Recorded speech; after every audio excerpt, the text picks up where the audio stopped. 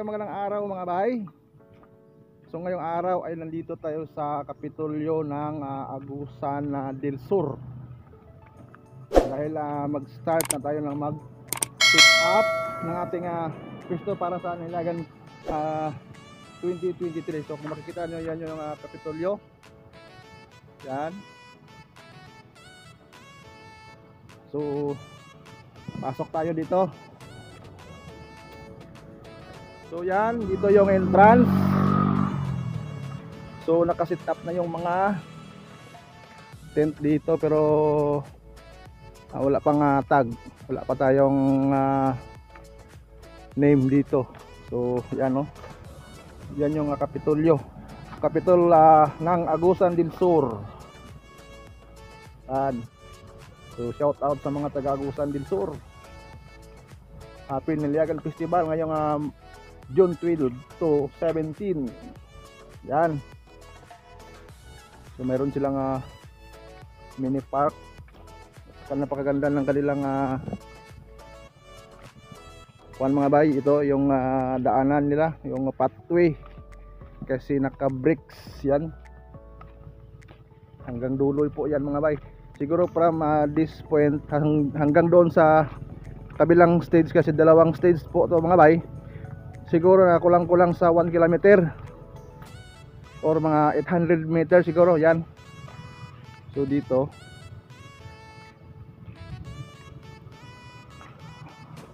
So napakaganda ng kanilang ah, landscape dito mga bayo. Kung tumatingin kung kuan makikita nyo. Ito yung ah, anong tawag dito? Ah, anong anong ah, bulak or bulaklak bulaklak ba to or ah, anong tawag dito? So pwede kayo mag-comment sa baba mga bay. So napakaganda.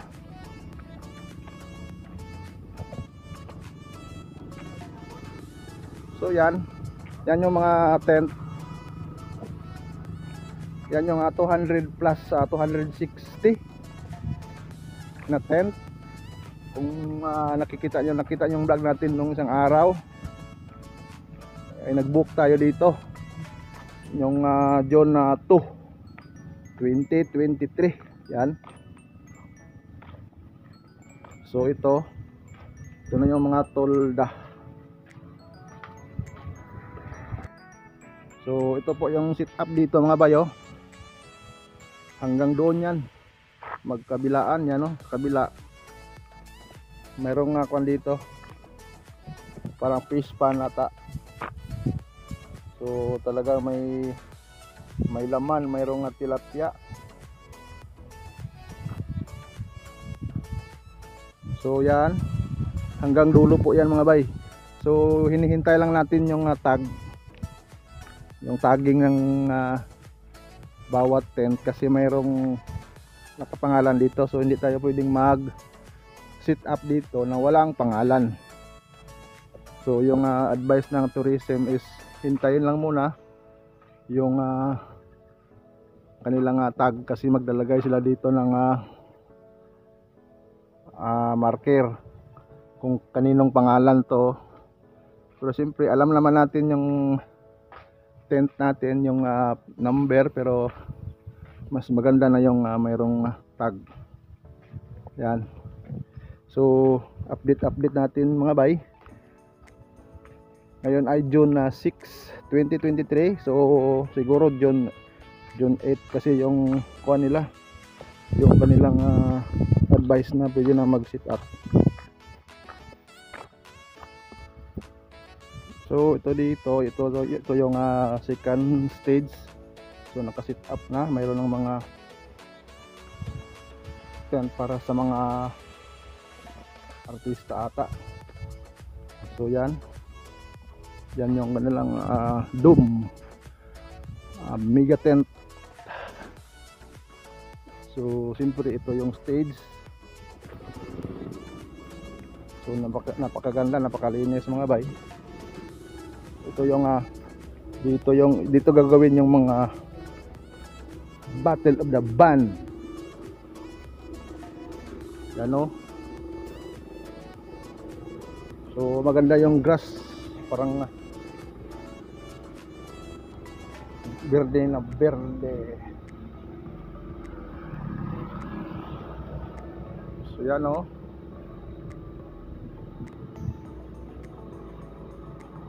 So sa mga taga-Agusan del Sur, shout out. Sana pumunta kayo dito sa Nalayagan Festival ngayong ah, June 12 to June 17, 2023.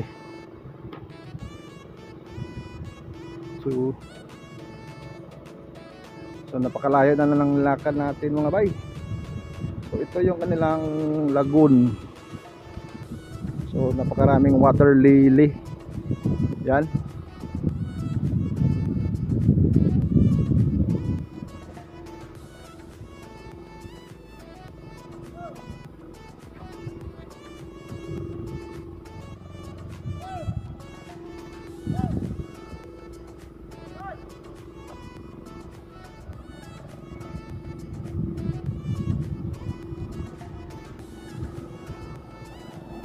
So abang-abangan nyo mga bay.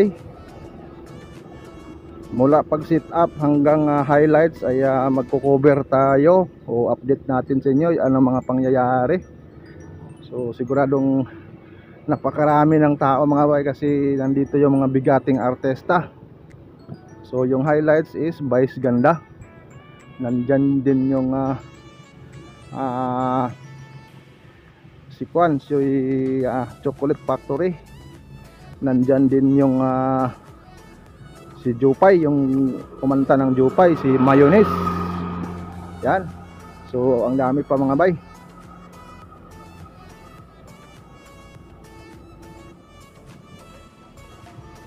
So ito pag nag ah, sit up to talagang ah, napakaganda tingnan mga bay kasi kwan malinis yung ah, sit up.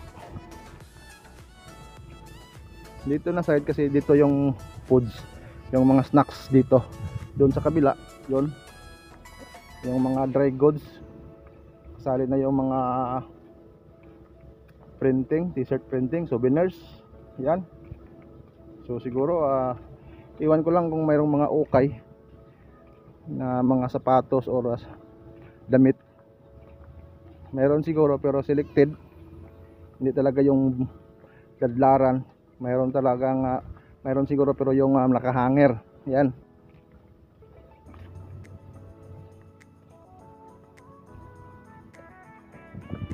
So dito siguro yung uh, pisto natin banda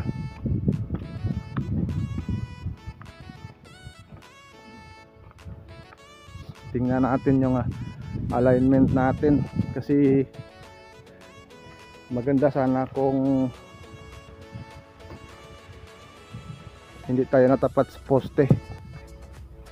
So pangatlo I think dito. So kahit walang ah, number kasi ito yung mga palatandaan. Shake snacks. Siguro dito. Ito yung ah, pin- ah, estimated lang natin na location. Yan. Dalawa So dalawa yung nakuha natin mga bay. Kasi nga dalawa yung nabunot. So siguro maging ah, okay. Kasi first time namin dito nakalagay kasi da- dati doon sa kabila, doon sa first stage. So try lang natin kung ah, kung maganda pa rin yung uh, kung dito kasi first time din dito lahat nilagay yung ah, snacks. Yan. So dati doon sa first stage yung mga snacks. Kasi dito dati RTWs at saka mga yung ah, souvenir at saka o dry goods dito yung nakal- nakalagay. So wala tayong magawa kasi yan yung ah, patakaran ng organizer. So try na lang natin. Pero ang dami ng mga tao mga bay, hindi man tayo ah, wala tayong dapat pagka ah, alala. So kasi sa sobrang daming tao magkaroon ng stampede dito kasi nung last year halos hindi na makagalaw ang tao dito mga bay. Dito na porsyon. Dito. Kahit hindi pa highlights. Basta gabi. Stampede yan dito. Napakaraming tao dito. Yan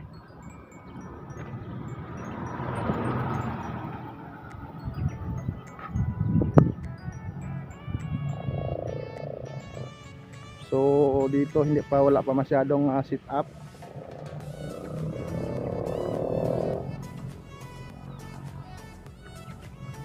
kung makikita niyo mga bay halos naka-bricks lahat yung uh, dito yung area.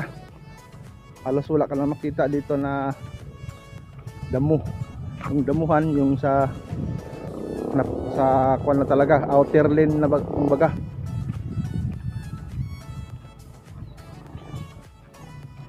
so dito mapapuno tong mga sponsor yung mga balloons ng mga sponsor kagaya ng mga telecom at saka yung mga drinks nila. Yan.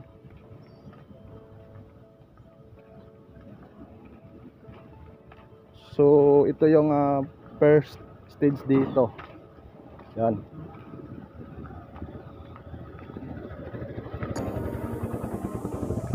ito yung arko pero hindi pa natapos. So abangan nyo yung opening day ito mga bay. Ngayong June 12, 2023 pero may opening sila mga bay.